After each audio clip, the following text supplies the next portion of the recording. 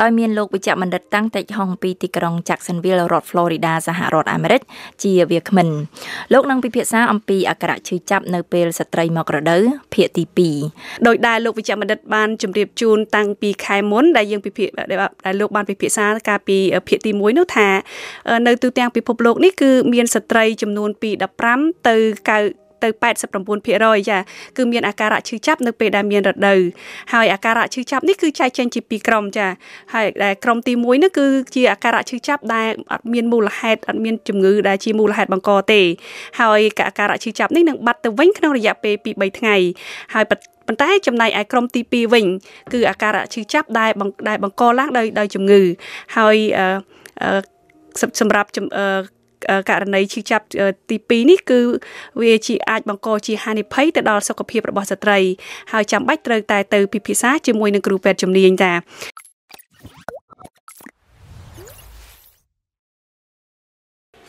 ចាអញ្ចឹងនាងខ្ញុំសូមប្រកល់កម្មវិធីនេះទៅទៅលោកវិជ្ជបណ្ឌិតដើម្បីជួយសង្ខេបជូន ប្រិយមិត្តតកតងជាមួយនឹងវិធីព្យាបាលទៅលើអាការៈឈឺចាប់នេះហើយបន្តមកទៀតយើងនឹងពិភាក្សាទៅលើចំណុចលម្អិតនីមួយៗបន្តទៀតចាសូមអញ្ជើញចាបាទមានចំណុច5ដែលខ្ញុំត្រូវយកមកសង្ខេបក្នុងពេលនេះគឺថារឿងទី1គឺថាយើងនិយាយពីជំងឺហ្នឹងវាមានពីរយ៉ាងបឋមជំងឺបឋមគេហៅ primary គឺថាដោយសារគ្មានមូលហេតុយើងនឹងផ្ដោតទៅលើរឿងនេះច្រើនជាង ហើយជំងឺផ្នែកទី2គឺជំងឺដែលមានមូលហេតុនេះជាចំណុចទី1ចំណុចទីទី2គឺថាបើសិនជាអ្នកដែលឈឺធម្មតាគ្រាន់តែថាពេលជាពិសេសអ្នកដែលទើបចាប់ផ្ដើមមានរដូវដំបូងហើយចាប់ឈឺពោះ ប៉ុន្តែគ្មានធ្លាក់ឈាមហួសពីធម្មតាហើយមិនធ្លាក់សធំក្លិនហើយខ្លាំងជាងធម្មតាគឺថាគ្មានការសង្ស័យអ្វីនោះគឺថាយើងអាចប្រើថ្នាំបានខ្លួនឯងមិនចាំបាច់ទៅពេទ្យគេមើលក៏បានដែរចំណុចទី3គឺថាថ្នាំដែលប្រើច្រើនយើងជាអាចចែកទៅជាពីរចម្ពោះចម្ពោះទី1គឺថាក្រុមគេហៅថា non steroidal anti inflammatory drugs គឺថ្នាំសម្រាប់ឈឺទូទៅឈឺស្រាក់ដៃស្រាក់ជើងថ្នាំហ្នឹងមានច្រើនយ៉ាងណាស់ដែលគេប្រើប៉ុន្តែដែលគេយើងស្គាល់ទាំងអស់គ្នា ជាឧទាហរណ៍គឺមួយគេហៅថា ibuprofen ibuprofen ហ្នឹងគឺដូចជា Advil ដូចជា Motrin ជាដើមហ្នឹងថ្នាំនេះគឺមានប្រសិទ្ធភាពអី ខ្លាំងខ្លាំងខ្លាំងដែលគួរឲ្យចាប់អារម្មណ៍បាទហើយមួយចំនួនតែក្នុងក្រុមក្រុមជាមួយគ្នានឹងមានថ្នាំមួយយ៉ាងទៀតហើយគេហៅថា naproxen naproxen ហ្នឹងដូចជាថ្នាំ Aleve ឬក៏ naproxen ដែលយើងលក់នៅផ្សារធម្មតាហ្នឹងជាពិសេសគឺ Aleve ដែលយើងមិនចាំបាច់ទៅប្រើសបុតពេទ្យទេយើងអាចទិញបានដោយគ្មានសបុតចេញពីច្បាប់ ចេញពីពេទ្យនេះជាក្រុមដែលអាចប្រើបានបាទចាចុះចំណែកថ្នាំប៉ារ៉ាសេតាមុលខ្ញុំនេះខ្ញុំជឿជាក់ថានៅនៅប្រទេសកម្ពុជាគឺប្រជាជនយើងភាគច្រើនប្រើទៅថ្នាំនេះតើតើថ្នាំនេះអាចជួយបន្ថយការឈឺចាប់ដែរឬទេចាបាទប៉ារ៉ាសេតាមុលជាក្រុមផ្សេងទៀតនៅសហរដ្ឋគេហៅថា Tylenol ឬក៏ថា acetaminophen ថ្នាំនេះមិនសូវអាចជួយបានដែរប៉ុន្តែមិនសូវមានប្រសិទ្ធភាពដូចជាថ្នាំ គឺចម្ពោះទី1ដែលខ្ញុំហៅថា non steroidal anti inflammatory drug ដូចជា Advil ជាដើមហ្នឹងគឺថាមិនដល់ប្រសិទ្ធភាពមិនដល់ប៉ុណ្ណឹងទេហេតុអ្វីពីព្រោះថ្នាំ Advil គឺថាវាមានជាតិពិសេសសម្រាប់ហើយប្រឆាំងជាមួយនឹងជាតិដែលធ្វើឲ្យចុកចាប់នោះគេហៅថា prostaglandin prostaglandin ហ្នឹងគឺថាពេលដែលមានរដូវហ្នឹងគឺចេញ prostaglandin មកហើយ prostaglandin ហ្នឹងគឺវាចេញមកមកអំពីសាច់ស្ពានសាច់ក្នុងក្នុងសាច់ស្ពាតខាងក្នុងស្បូវហ្នឹងសាច់ដែលនៅក្នុងស្បូវហ្នឹងវាចេញពេលវាពេលមានរដូវហ្នឹងសាច់ហ្នឹងវា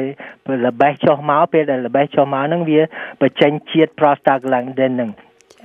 ហើយជាតិ prostaglandin ហ្នឹងជាជាតិដែលធ្វើឲ្យឈឺចុកចុកចាប់ ហើយពួកក្រុមទី1គេហៅដូច Advil ហ្នឹងគឺថាវាទប់កុំឲ្យអា prostaglandin ហ្នឹងវាចេញបានម្ល៉េះឆ្នេះឲ្យបានវាជួយខ្លាំងជាងគេហើយចំពោះ paracetamol ឬក៏ acetaminophen របៀបវាបំបត្តិការឈឺចាប់មិន មិនដូចជាថ្នាំចម្ពោះទី1ទេគឺថាវាមិនបានទៅទប់ទល់ជាមួយ prostaglandin ទេដូច្នេះហើយបានជាប្រសិទ្ធភាពវាមិនសូវខ្លាំងដូចជាថ្នាំ Advil បាទចា៎ដូច្នេះខ្ញុំបន្តទៅទៀតសិនហើយចាំលើកសំណួរមកក្រោយចំណុចទី3ចំណុចទី3គឺក្រុមថ្នាំក្រុមទី2ក្រុមទី2ហ្នឹងគឺក្រុមអរម៉ូនអរម៉ូនគឺគេអាចប្រើដោយប្រើថ្នាំថ្នាំពញាកំណើត ថ្នាំពញាកំណើតហ្នឹងគឺមានច្រើនយ៉ាងណាស់ប៉ុន្តែថ្នាំដែលគេនិយមប្រើជាងគេវាមានពីរចម្ពោះចម្ពោះទី1គេថាគេអាចចាក់ម្ដងប្រើបាន3ខែចាក់ម្ដងគេហៅថា medroxy progesterone ឬក៏គេហៅថា Provera គឺ Depo Provera អានឹងចាក់តែម្ដងបាន3ខែបាទ ប៉ុន្តែត្រូវចាក់សាច់ចាក់លើសាច់ដុំបាទហើយឆ្នាំក្នុងក្រុមឆ្នាំពជាកំណើតទៅមួយក្រុមទៀតគឺគឺលេបរាល់ថ្ងៃលេបរាល់ថ្ងៃហ្នឹងដូចជាឧទាហរណ៍វាមានច្រើនយ៉ាងទៅប៉ុន្តែឆ្នាំដែលគេដូចថាគេច្រើនតែប្រើនិយមប្រើដូចជានៅសហរដ្ឋអាមេរិកជាដើមគឺថាឆ្នាំ ethinyl estradiol ហើយនឹង norethindrone អាហ្នឹងគឺឆ្នាំដែលគេមានឈ្មោះហៅថា orthonovum នឹង គឺលេបរាល់ថ្ងៃទៅដូចយើងយើងលេបថ្នាំពជាកំណើតហ្នឹងក៏វាអាចជួយបំបត្តិកុំឲ្យឈឺចាប់នៅក្នុងពេលដែលយើងមកខែនឹងដែរហើយថ្នាំហ្នឹងវាវារបៀបដែលវាមានប្រសិទ្ធភាពហ្នឹងគឺថាมันខុសពីថ្នាំចម្ពោះទី1មួយឆ្នាំ Advil ទេពីព្រោះវាតកតងនឹងហើយ prostaglandin នឹងដែរហេតុអ្វីពីព្រោះថ្នាំហ្នឹងវាទប់កុំឲ្យកុំឲ្យ សាច់ត្បូងខាងក្នុងហ្នឹងវាធ្លាក់ពេលដែលថាវារីកខ្លាំងពេកម្ល៉េះហើយវាវាមិនសូវជាមានបញ្ចេញជាតិ prostaglandin នឹងច្រើនដូច្នេះហើយវាទប់កុំឲ្យឈឺចាប់នៅក្នុងពេលដែលយើងមានរដូវហ្នឹងនេះជាចំណុចទីថ្នាំគឺថាពីរក្រុមហ្នឹងហើយចំណុចទី5គឺថាបើយើងលេបថ្នាំដែលខ្ញុំបើយើងបាននិយាយមកហើយហ្នឹងវាមិនបាត់ មិនបាត់អានឹងបានន័យថាត្រូវប្រហែលជាមាន បញ្ហាអ្វីផ្សេងទៀតហើយគឺថាចូលក្នុងក្រុមទី2ហើយក្រុមជំងឺដែលមានមូលហេតុមូលហេតុមានច្រើនយ៉ាងណាស់គឺថាតើទៅឲ្យពេទ្យគេពិនិត្យទើបយើងអាចរកឃើញប៉ុន្តែដែលដែលច្រើនជាងគេគឺជំងឺមួយយ៉ាងគេហៅថា endometriosis endometriosis ហើយម្យ៉ាងទៀតគេហៅវាដុះសាច់ដុំនៅក្នុងស្បូនហ្នឹងគេហៅថា fibroid ហើយចំពុកទី3គឺរលាកស្បូនលីបូន3ហ្នឹងវាច្រើនតែធ្វើទុកហើយដោយឲ្យចុកពោះនៅពេលមានរដូវជាពិសេស endometriosis ហ្នឹងគឺសម្បូរណាស់សម្បូរណាស់ស្ត្រីច្រើនគ្នាណាស់ដែលមានកើត endometriosis ហ្នឹង endometriosis ហ្នឹងគឺធម្មតានៅក្នុងស្បូនយើងវាមានសាច់ស្បូនខាងតួសាច់ស្បូនហើយនៅមានសាច់ស្បូនខាងក្នុងពីខាងក្នុងហ្នឹងអាសាច់ស្បូនពីខាងក្នុងហ្នឹងវាអាចរណ្ដែត រសាត់ចេញពីស្បូនហ្នឹងទៅដល់វារសាត់ចេញពីត្បូងហ្នឹងទៅវាទៅទុំនៅក្រៅស្បូនឬក៏ទុំនៅក្នុងពោះវាលើពោះវៀនទុំនៅក្នុងពោះហ្នឹងវាកាលណាវាទុំទៅវាធ្វើឲ្យពោះវៀនហ្នឹងវាជាប់ស្អិតជាមួយគ្នាហើយហើយឬក៏ពេលដែលពេលដែលមករដូវហ្នឹងអាសាច់ស្បូនហ្នឹងវាសាច់សាច់ស្បូនដែលវាហើទៅហ្នឹងវាវាចេញឈាមដូចជារដូវធម្មតាអញ្ចឹងវា ពេលដែលចេញឈាមនឹងហើយដែលវាធ្វើឲ្យចុកចាប់នៅក្នុងនឹងអាហ្នឹងគេហៅ endometriosis នឹងជាជំងឺផ្សេងដែលដែលមានច្រើនតែកើតមានចំពោះអ្នកឈឺរបៀបឈឺពោះពេលមានរដូវហ្នឹងហើយថ្នាំអ្នកដែលឈឺរបៀបហ្នឹងគឺថាអាចប្រើថ្នាំរបៀបគ្នាអញ្ចឹងដែរប៉ុន្តែជួនកាលវាមិនបាត់បើសិនវាមិនបាត់អ្នកហ្នឹងតើត្រូវប្រើត្រូវត្រូវការប្រើការវះកាត់ ហើយដើម្បីគេចូលបញ្ចូលពិលទៅក្នុងពោះទៅ គេអាចសម្អាតកោសយកសាច់នឹងចេញបាន ហើយអាចជួយជំងឺនឹងឲ្យបាត់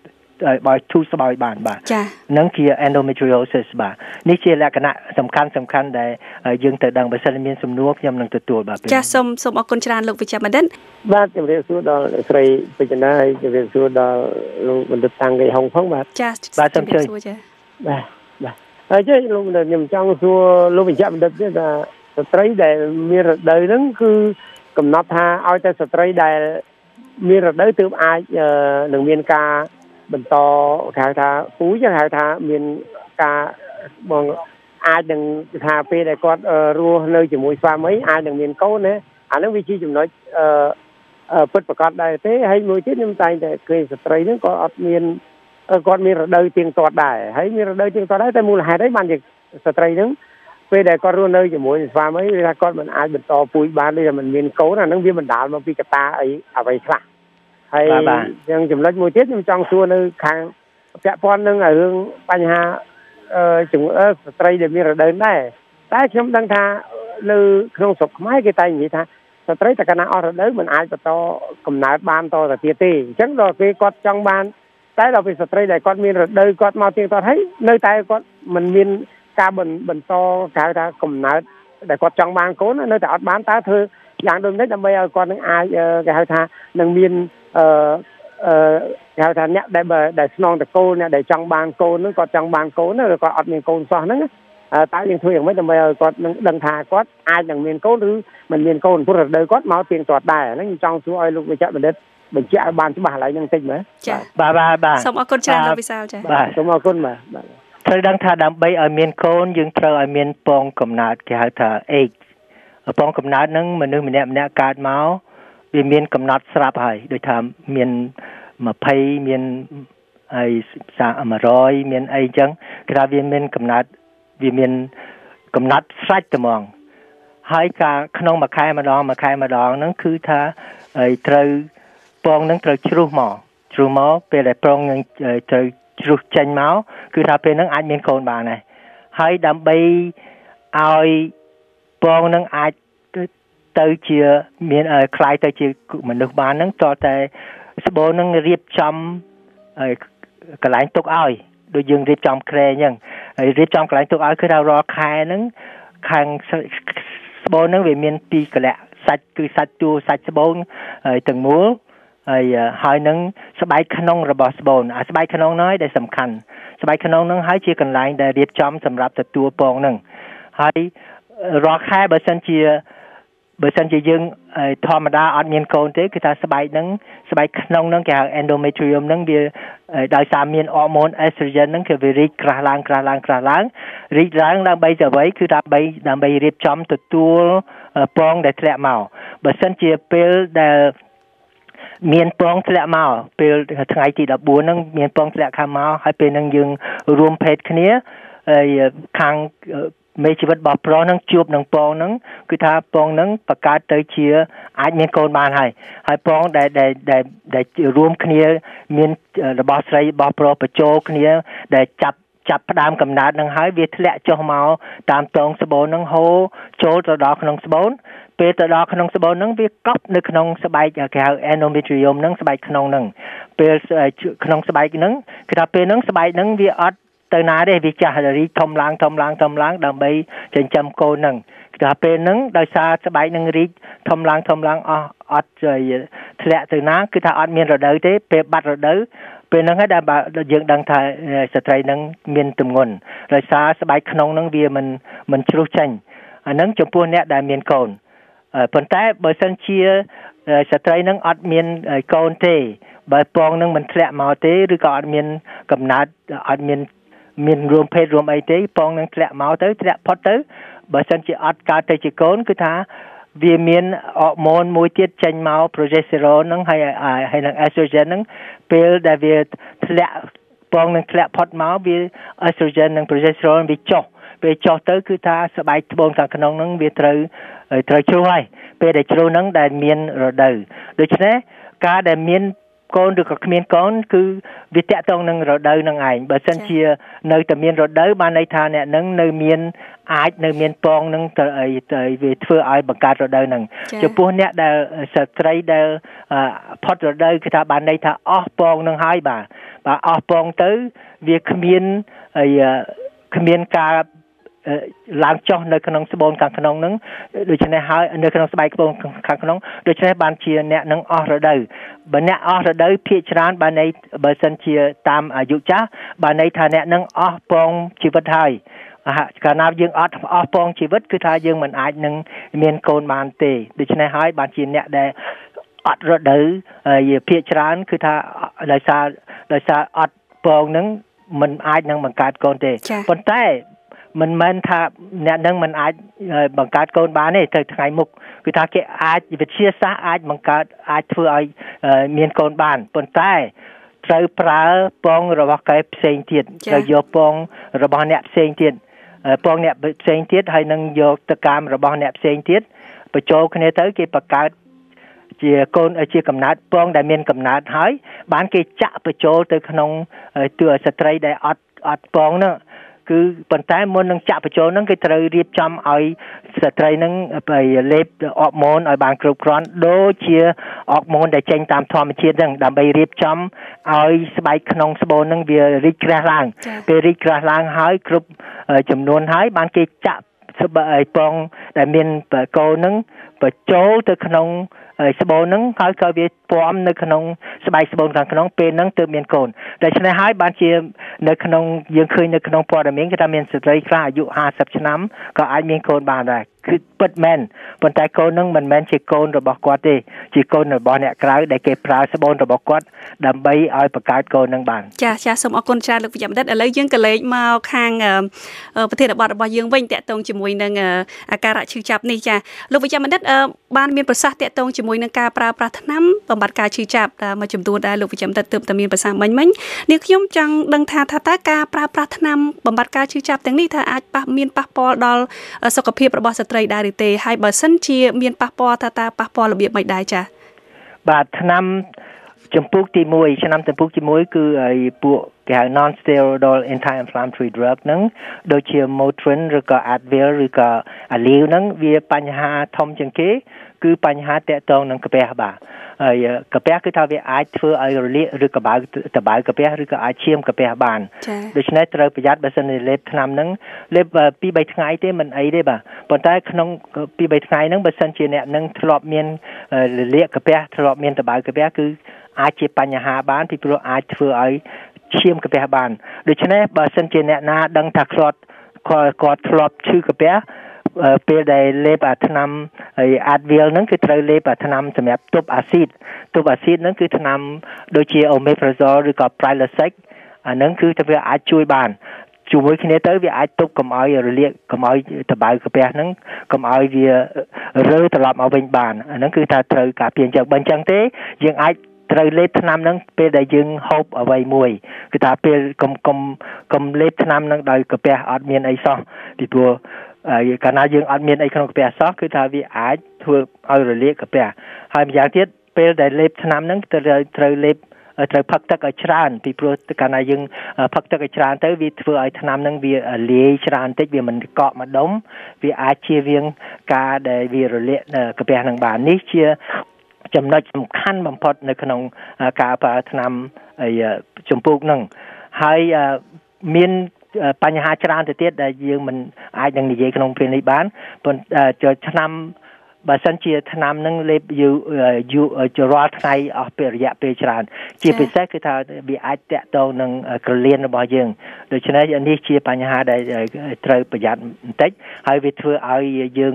ហើមដៃហើមជើងដោយសារវាវាមានជាតិមានជាតិទឹកនៅក្នុងច្រើនហើយបើសិនជាចំពោះថ្នាំសម្រាប់ពញាកំណើតវាមានតកតងគឺថាវាអាចធ្វើឲ្យឈាមកក់នៅក្នុងជើងហើយគេហៅថាអី blood clot នោះឈាមកកនឹងអាច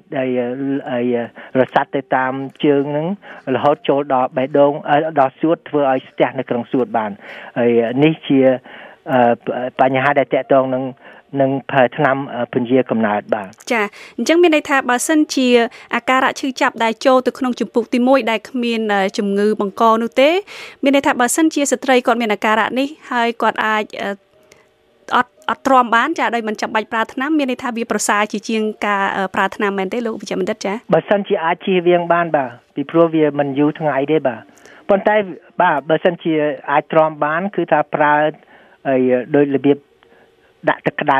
សកត់ពីលើអីអញ្ចឹងទៅវាក៏អាចជួយបានដែរបាទហើយយើងអាច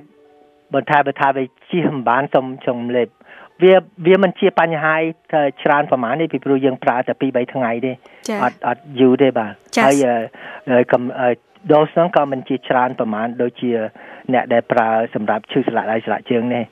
ដូច្នេះ វាមិនជាបញ្ហាអីប្រហែលទេប៉ុន្តែដោយលោកស្រីមានសារនេះគឺថាថ្នាំទាំងអស់ហ្នឹងបើថាអាចជៀសវាងបានជៀសវាងទៅបាទចាសូមអរគុណច្រើនលោកវិជ្ជបណ្ឌិតចានេះខ្ញុំសូមអនុញ្ញាតលោកវិជ្ជបណ្ឌិតទទួលប្រិយមិត្តរបស់យើងមួយរូបទៀតគឺលោកងុយមកពីខាងខេត្តកំពតចាសូមជម្រាបសួរលោកចាបាទសូមបាទសម្រាប់សួរសូមសម្រាប់សួរលោកវិជ្ជបណ្ឌិតតាមពីហុងផងចាសូមជឿចាខ្ញុំចង់សួរសំណួរមួយដល់លោកវិជ្ជបណ្ឌិតនឹងប្រាប់ពាក់ព័ន្ធដល់ស្ពូនបូនដែរ ព្រោះភ័យយើងខ្ញុំនោះមករីច្បោនេះឥឡូវហ្នឹងក៏ហូបអាបំបត្តិការឈឺចាប់ហ្នឹងឆ្នាំបំបត្តិការឈឺចាប់ក៏នៅអត់ហូបគាត់ឈឺចាប់តែពីមុនដំបូងមកគាត់ធ្លាក់ដល់ឈាមឥឡូវលោកគ្រូមានអាចឆ្នាំស្អីទេថាអាចថាបានឲ្យគាត់នឹងហូបបំបត្តិការឈឺចាប់ក្រៅវាឆ្នាំបំបត្តិការឈឺចាប់លោកគ្រូបាទហើយកាលណាមានមហារីកអញ្ចឹងវាការដែលព្យាបាលវាខុសគ្នាទាំងអស់ គឺថាត្រូវធម្មតាគេត្រូវកាត់ស្បូននឹងចេញបើសិនជាកាត់មិនបានទេគេត្រូវប្រើកាំរស្មី X កាំរស្មី X ហើយថ្នាំដែលប្រើសម្រាប់បំបត្តិការឈឺចាប់ហ្នឹងវាមានលក្ខណៈខុសគ្នាផ្សេងទៅទៀតបាទថ្នាំដែលខ្ញុំនិយាយមកហ្នឹងវាអាចជួយបានដែរប៉ុន្តែជួយបន្តិចបន្តួចអាហ្នឹងខាងប៉ារ៉ាប៉ារ៉ាសេតាមុលក៏អាចជួយបានដូចគ្នាអញ្ចឹងដែរប៉ុន្តែជួនកាលវាមិនគ្រប់គ្រាន់ល្មម មិនគ្រប់គ្រាន់មិនល្មមតើប្រើថ្នាំជាតិអាភៀនអាភៀនគេហៅ narcotic narcotic ហ្នឹងដូចជាពួកគេហៅថា hydrocodone ពួក codeine ឬក៏ពួកហើយ morphine ជាដើមហ្នឹងថ្នាំហ្នឹងតើតែមានចេញថ្នាំសបុតពេទ្យគេចេញឲ្យហើយថ្នាំហ្នឹងតើតែហើយជាវាអាចមានបញ្ហាគឺថាអាចឲ្យយើងញៀនបានដូច្នេះ ក្នុងការដែលដើម្បីឲ្យបំបត្តិការឈឺចាប់ហ្នឹងតទៅទៅជួបពេទ្យឲ្យគេចាញ់ថ្នាំទាំងអស់ហ្នឹងឲ្យបានបានហើយជាពិសេសគឺថាត្រូវធ្វើរបៀបម៉េចដើម្បីវះកាត់ឬយកស្បូននឹងចេញ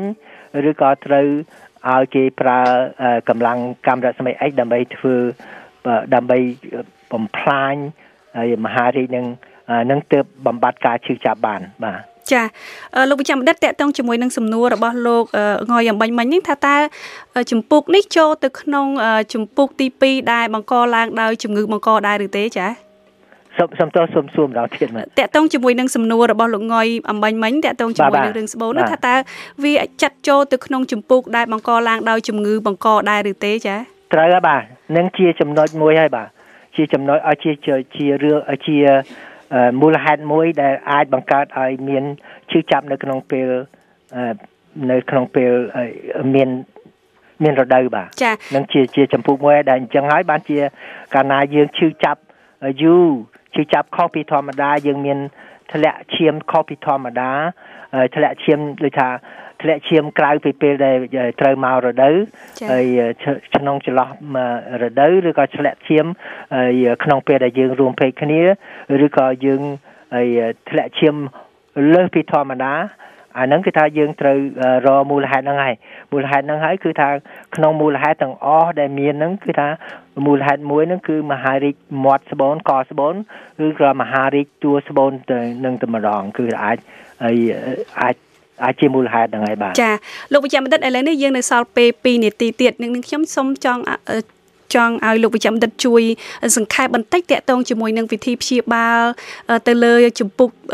ជំងឺបង្កនៅក្នុងជំពូកទី2ដែលកើតឡើងដោយសារជំងឺបង្កថាតើមានវិធីព្យាបាលមានលំដាប់តាមលំដាប់លំដោយរបៀបម៉េចខ្លះទៅចាសូមសង្ខេបបន្តិចចា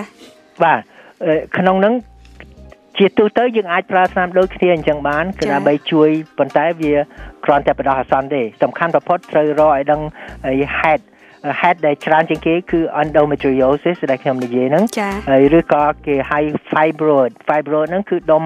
ដោះដុំសាច់នៅក្នុង នៅក្នុងតួស្បូនហ្នឹងគឺស្ត្រីច្រើនណាស់ដែលឈឺហ្នឹងក្នុងហ្នឹងគឺថាភាគច្រើនគឺអាចលេបថ្នាំថ្នាំសម្រាប់ពន្យាកំណើតទៅវាអាចជួយបានប៉ុន្តែជួនកាលត្រូវកាត់ស្បូនចេញតើកាត់ស្បូនចេញបានបានបានហើយបើសិនជាមានបាក់តេរីគឺត្រូវប្រើអង់ទីប៊ីយោទិកនេះជាភាគច្រើនដែលច្រើនមានឈឺចាប់នៅក្នុងពេលរដូវដែលដោយសារមានដែលមានដើមមូលហេតុ ប៉ុន្តែមានមូលហេតុច្រើនឯទៀតត្រូវទៅឲ្យពេទ្យគេទៅឲ្យពេទ្យគេពិនិត្យដល់គេគេថតឬក៏គេឆ្លោះឬក៏គេលូកចូលក្នុងស្បូនហ្នឹងដើម្បីរកឲ្យឃើញមូលហេតុសំខាន់ជាងគេគឺ endometriosis ដែលខ្ញុំបាននិយាយមកហើយនឹងបាទមានភាគច្រើនដែលកើតជំងឺហ្នឹងបាទចាសសូមអរគុណច្រើនលោកវិជ្ជបណ្ឌិតដោយសារតែយើងដល់ពេលវេលាទៅហើយនាងខ្ញុំសូមអរគុណច្រើនលោកវិជ្ជបណ្ឌិតនិងសូមជម្រាបលាប្រិយមិត្តទាំងអស់ហើយយើង thank you